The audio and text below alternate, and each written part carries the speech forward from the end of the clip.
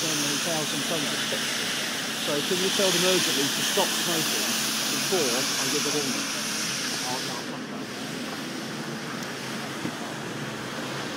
goes back and he, he might go go to the back. He has something to tell you, and then comes the warning. To them. They, they sort of they don't want to negotiate in the first place. Though. I leave, I leave it. to.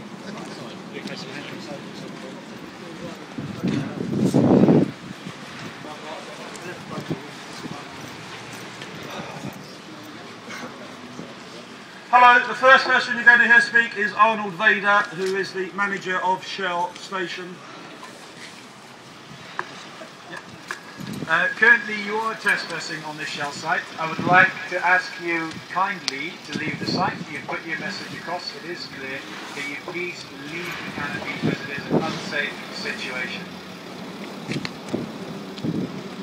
Okay, my name is Chief Superintendent Simon Evans from Westminster. I'm going to give you five minutes to come down. If you do not come down in five minutes, I will then be reading you a warning under aggra- aggravated trespass legislation.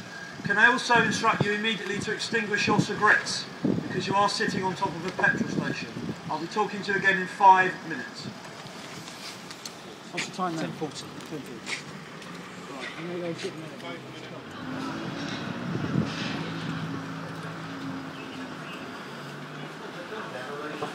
No, no, no, this is moving around. They're moving it. I said it. No, no, it's just, they disappeared.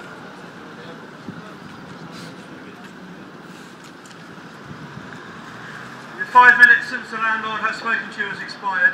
My name's Chief Superintendent Ovens. I'm the senior police officer here on this scene.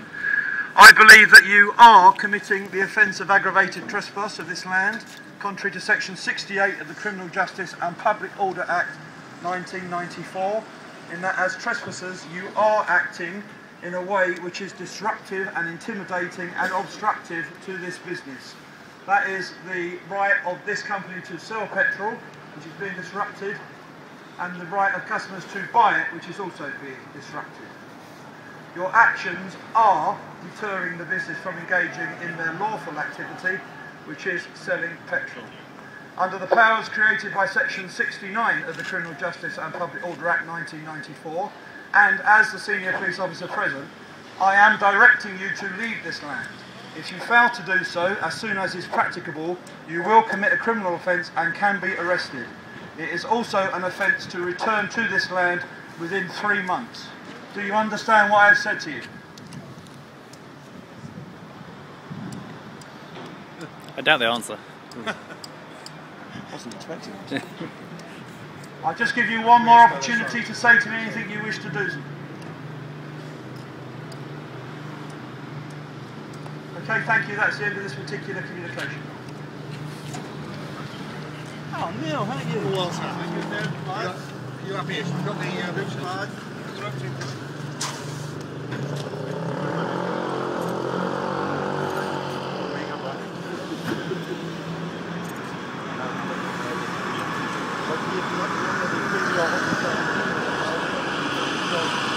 station, and you said to me if um, uh, if the petrol station's not closed, what's the point in having the protest?